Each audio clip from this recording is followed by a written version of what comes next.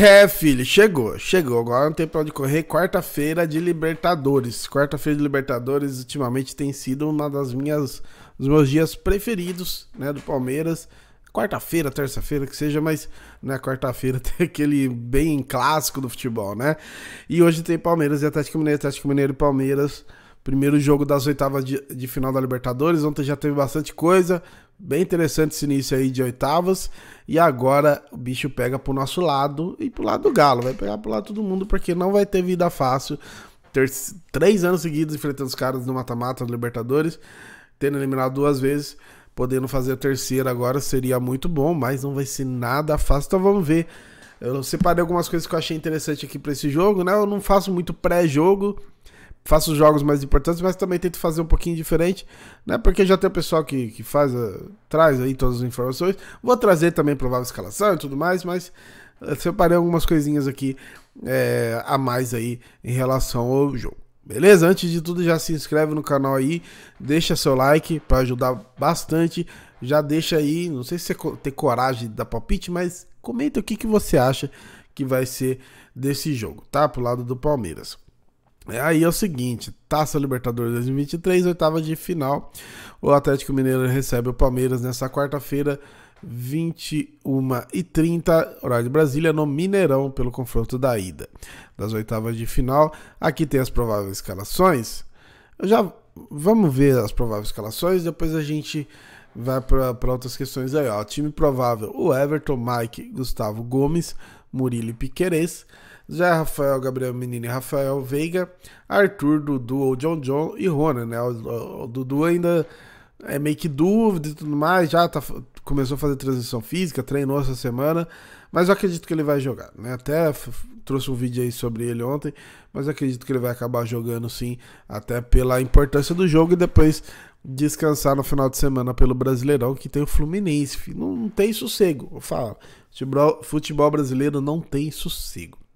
E aí o Galo é o seguinte: Galo completaço, Everson, Saraiva, Igor Rabelo, Gemerson ou Maurício Lemos e Guilherme Arana. Otávio, Bataglia, Isaratio, Paulinho, Pavon e Hulk. Completaço, não está numa grande fase, está nove jogos sem ganhar. É, o Felipão ainda não venceu, o que significa absolutamente nada, né? Pro, pro jogo de hoje não significa nada. A gente pode né, enfrentar os caras, é, pode ter dificuldades do mesmo jeito. Imagino que vá ter dificuldades. É, os caras não tem ninguém fora por lesão, não tem ninguém pendurado. O Palmeiras tem só a Tuesse, não tem ninguém pendurado, até porque zero né, os cartões aí da primeira fase para segunda. Arbitragem aí, ó, Argentina de Facundo Télio, Télio, não sei, Diego Bonfá, Maximiliano Del Iasso, VAR, German Delfino também argentino e Maximiliano Ramírez, todos argentinos aí, o quarto árbitro. E aí, né, fui ver aqui, o Galo trouxe aí, né, hoje tem Galo e tudo mais no Twitter, arte com o Arana, os desgraçado usando ele. Mas, cara, ficou bem feita a arte, hein? Bem feita pra caramba. E aí vamos ver. Uh, ó, o que eu queria trazer é o seguinte: parece que os caras vão usar essa, esse esquema aqui, ó. Choquei do Galo, postou, ó. Leve a sua máscara e cante os 90 minutos. Vai rolar esse esquema aí de, de máscara do pânico e tudo mais. Olha lá. Hoje não posso, tem Galo na Libertadores. A mesma de 2013, retirada do armário 10 anos depois. Amanhã é dia, 10 anos da conquista da Libertadores dele, né? Só tem uma, foi em 2013. Ele não tem ajuda das organizadas, ele não tem o clube para apoiar a campanha, mas ele tem o povo. E aí eu tinha até separado aqui os, o post aqui, ó. É, dez anos depois, o Ghostface está de volta no novo local de pânico. Caiu no Mineirão, tá no caixão. Data 2 de 8 de 2023. Leve sua máscara de pânico e sua camisa preta do Galo. Ó. Imagina 60 mil torcedores do Mineirão contra o Palmeiras com a máscara e camisas pretas do Galo. Mano, é jogo da vida dos caras. É jogo da vida, tá? Não tem como. Eu queria trazer isso daqui porque é que vai além do, do pré-jogo convencional. Isso aqui é jogo da vida pros caras. Por quê? 2013, né? A conquista da Libertadores para eles. Dez anos depois, contra o time que eliminou eles dois anos seguidos, um time que tá engasgado. Então, sim, é o jogo da vida do Atlético Mineiro. Não sei como os jogadores estão encarando, mas a torcida está encarando como o jogo da vida.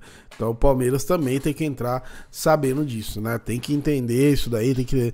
Não acredito que, pô, ah, os o jogador vai olhar os caras com máscara e vai ficar é, intimidado, ainda mais o time do Palmeiras não pode se intimidar com pressão de torcida, até porque não, não, não é uma questão, não, não é uma parada que acontece normalmente. Isso, na real, acho que pode até ajudar, né? A gente já cansou de ver jogador falando que quando a torcida rival tá cantando mais, até estimula um pouco, né?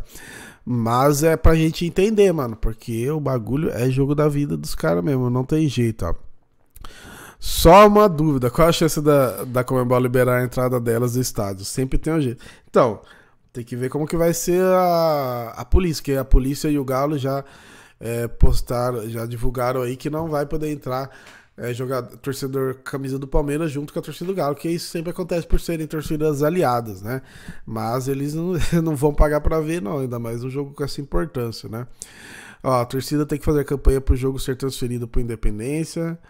Mas disseram que não é possível, amigo. Falta que tem um prazo de 10 dias na escolha pro local, que foi ontem, eu acho. Ah, essa aqui é da semana passada.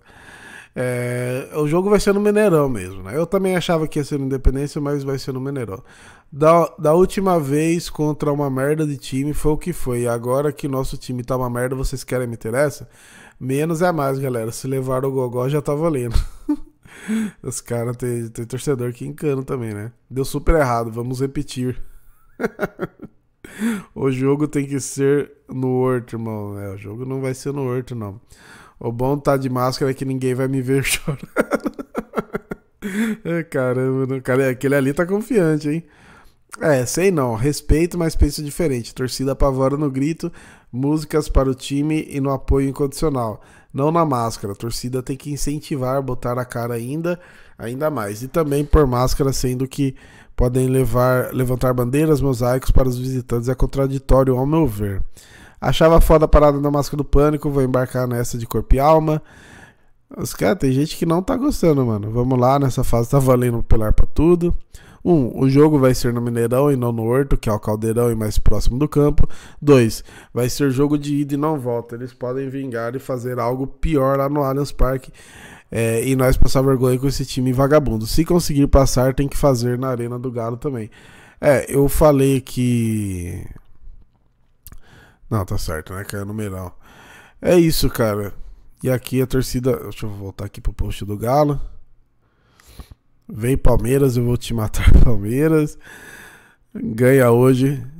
Vamos ver aqui, ó. Alguém. A pessoa perguntando ingresso. Vamos ver aqui. Queria que não tivesse galo hoje. Vence, por favor. Pelo amor de Deus, gente, calma aí. Vamos, Galo. Deus nos acuda. Meu aniversário, hein? Se tiver 1% de chance que seja melhor. Hoje é dia para vencer e convencer. Estamos confiantes em uma vitória. Felipão e seus comandados começam hoje a reação por cima deles. São 5 e 50 da manhã e eu já acordei com frio na barriga. É, filho, dia de Libertadores é diferente, não tem jeito. Mas é isso, mano. Queria trazer para vocês esse lance aí da, da máscara, né? De como tá a torcida aí do Galo. Pelo jeito, tá dividida nessa questão aqui, né? Não se decidiram aí se gostam ou se não gostam. Mas que é o jogo da vida, e isso é unânime. É o jogo da vida dos caras. 10 anos aí depois da Libertadores que eles conquistaram. É, imagino que eles queiram. Você sempre quer, né? Mas imagina 10 anos depois se conquistar de novo. Mas tomara que o Palmeiras estrague essa festa aí. Vamos ver se vai dar certo. Eu não sei se a, torcida, se a polícia vai liberar essa lança de máscara. Vamos ver se dá certo, como que vai ficar isso lá durante o jogo. Beleza? Ó, comenta aí, se inscreve no canal, deixa seu like, tamo junto.